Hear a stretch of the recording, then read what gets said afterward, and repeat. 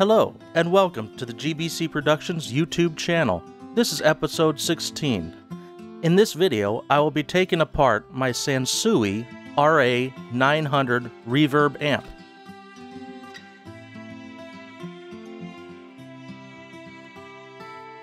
Now I have it plugged in. We'll turn it on.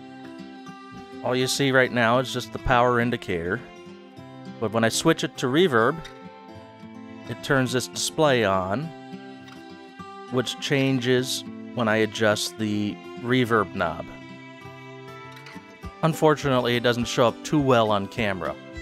Now here we have the source, main source button, tape 1, tape 2, send from tape 1 to 2, and from 2 to 1. This one's for microphone guitar input, for adding reverb to that. It's on the front panel control, input level, and microphone guitar switch. This is the mixing button, so all of the connections on the back, source, tape 1, tape 2, would go through the reverb. And then mixing record, which would send the reverb to tape 1 or tape 2. Let's take a look at the back and look at all the connectors back there.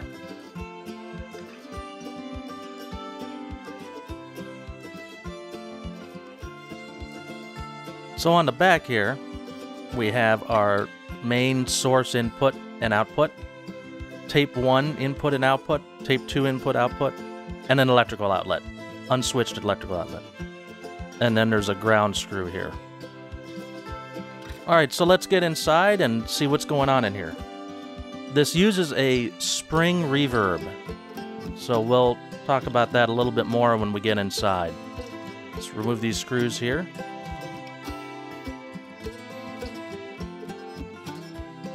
And I'll come back once I get these screws out.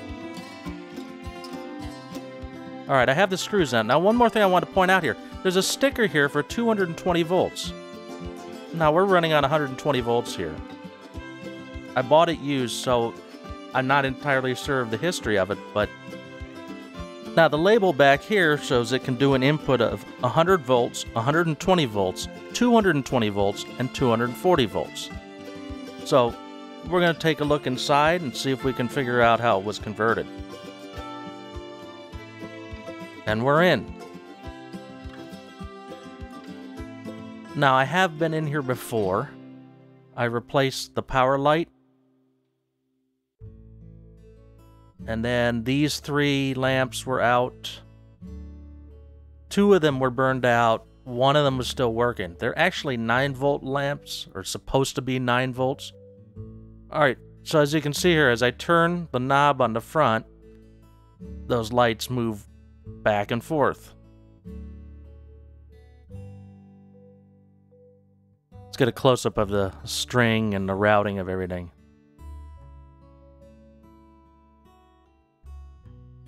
It's kind of a neat mechanism in my opinion.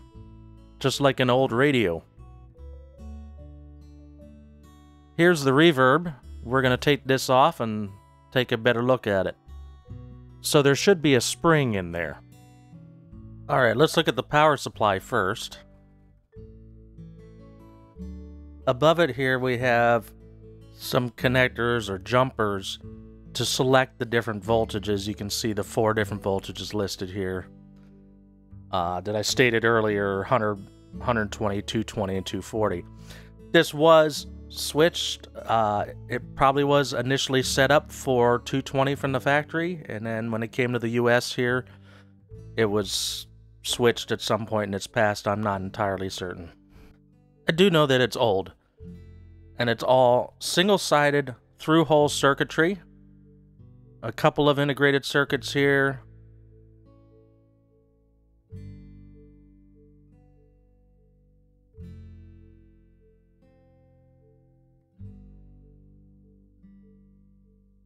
This I believe to be the microphone preamp. And when you switch it over to guitar, it'll bypass that preamp.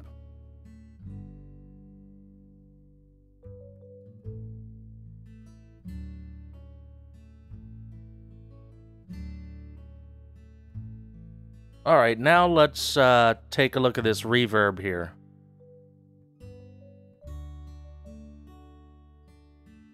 Just have to take out these four screws and the cover will come off. We'll see what's going on inside there.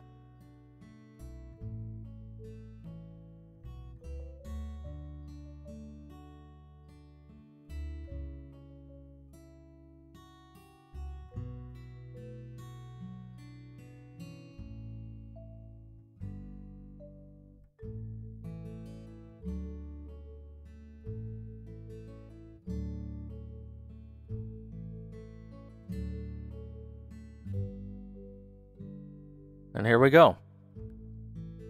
And there's the two springs.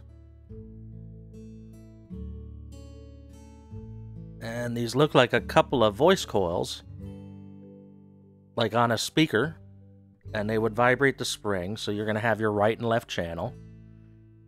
And then you have a pickup coil. So they're going to combine the two channels together. So stereo in, mono out.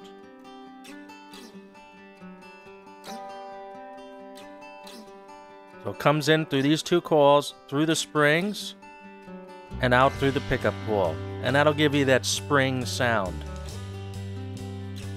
As you can see, all that foam is starting to deteriorate.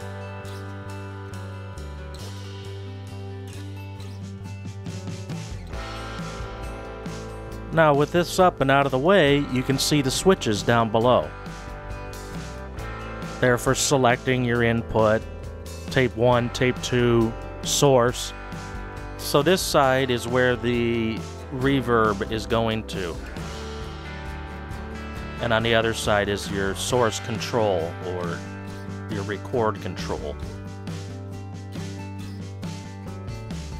And that's pretty much all there is. So I'm going to go ahead and put this back together. Don't forget to subscribe for more, mash that like button, and comment below. Until next time, this is Uncle D from GBC Productions, signing off.